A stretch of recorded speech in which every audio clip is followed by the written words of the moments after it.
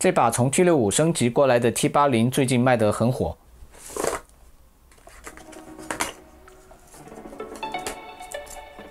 我也想知道它到底发生了什么变化。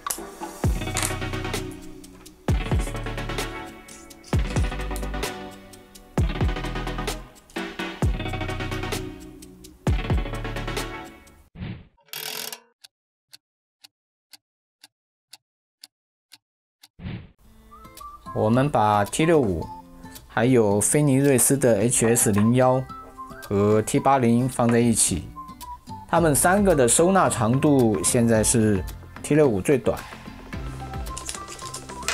但是卸掉保护盖以后，T 八零的工作长度是最短的。在手持长度上面，T 六五和 HS 零幺都是三个半指宽。T 八零只有两指多一点，这让 T 八零很适合手机维修，还有狭小空间的操作。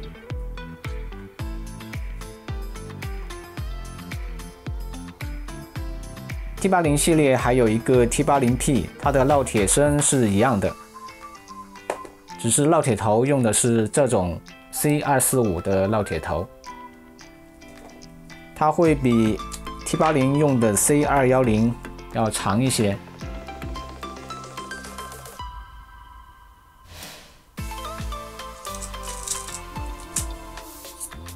但是跟 T 六五用的这种缩小版的 T 幺二长度是差不多的。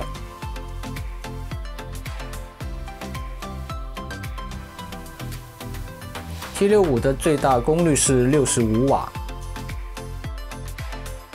但是，T 八零的八零并不是代表说它只有八十瓦的功率，这只是一个型号，它的最大输出功率有一百瓦。至于化锡时间，这跟加热功率还有烙铁头的重量有直接关系。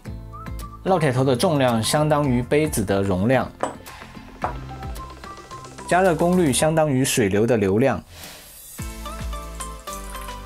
所以杯子越小越容易被装满，也就是化锡越快。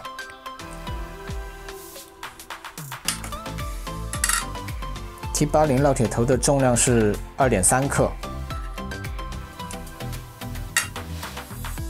，T 八零 P 烙铁头的重量是七点二克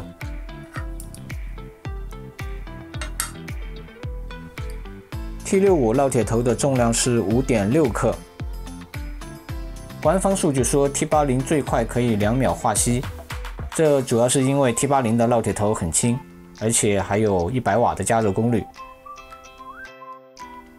从外观上看，T 六五是塑料外壳，T 八零是铝合金外壳加喷砂工艺，在颜值上面甩开 T 六五几条大街。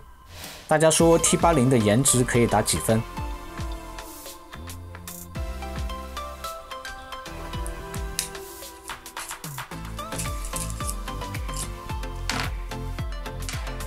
？T 八零和 HS 零幺都是铝合金的外壳。T 八零看上去明显要细很多。T 八零的主机有二十八点七克，HS 零幺的主机有三十二点一克，重量上面它俩相差不到五克。大家注意听，HS 零幺的声音听起来外壳比较薄。T 八零的声音听起来就感觉它比较厚。如果说这里面没有接缝的话，T 八零的外壳很有可能是实心铝棒用 CNC 加工的。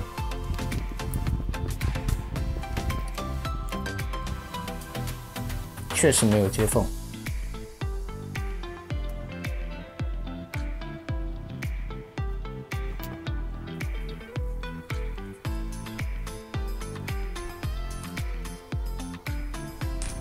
注意看这里，这应该就是一根实心铝棒切割的刀痕。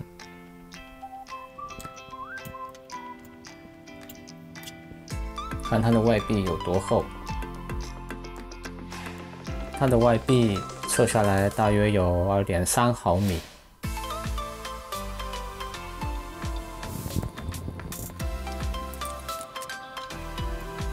有很多网友说 T 六五的这个夹头容易松，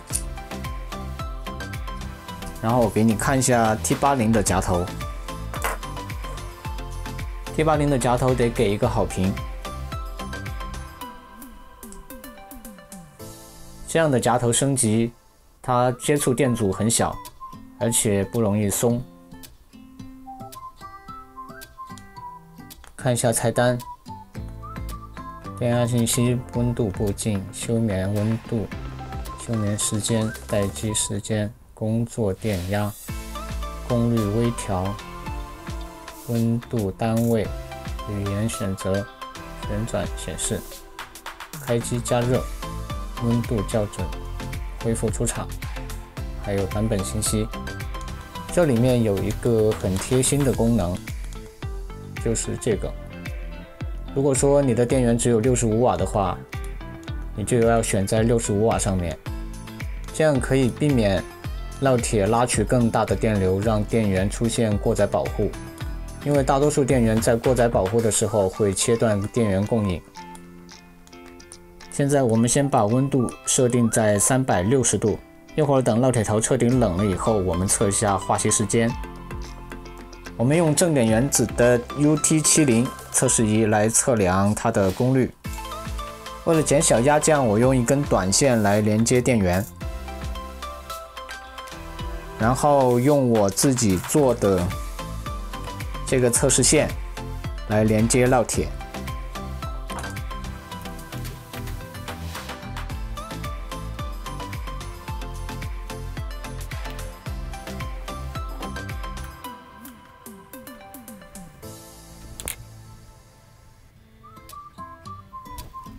现在启动加热。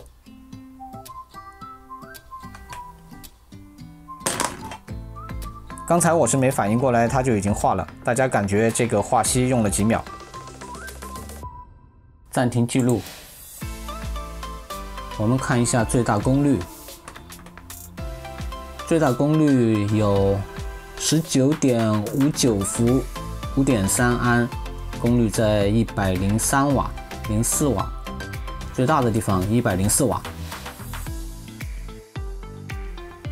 现在的气温是十九点七度，一百瓦的持续时间有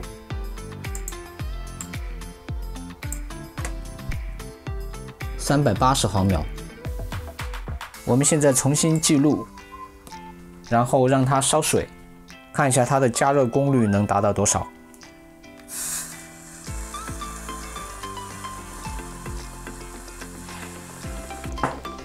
暂停记录，它的加热功率是断断续续的，最高的峰值大概应该是在这里，八十四瓦。